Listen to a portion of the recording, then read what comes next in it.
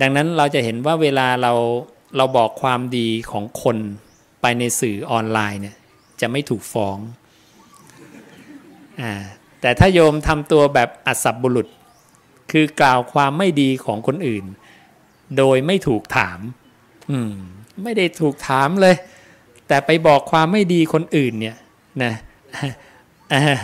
โยมจะถูกฟ้องร้องได้นะอันนี้ก็เป็นเหมือนเป็น ระเบียบสังคมทั่ว ๆ ไปในโลกอยู่แล้ว ดังนั้นถ้าโยมถือหลักของพระศาสดาเนี่ยโยมก็จะอยู่ในโลกอย่างสงบสุข ใช่ไหมอ่า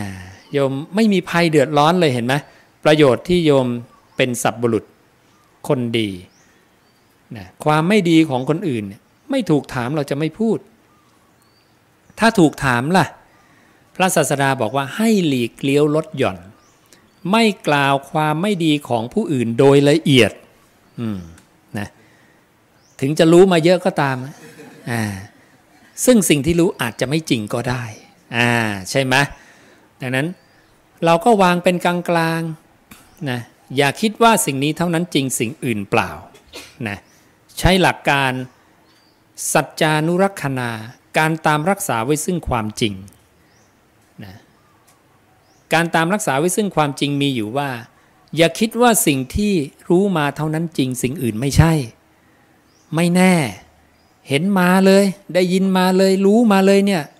แน่ ๆ เลยอันนี้จังนะอ่าอันนี้จัง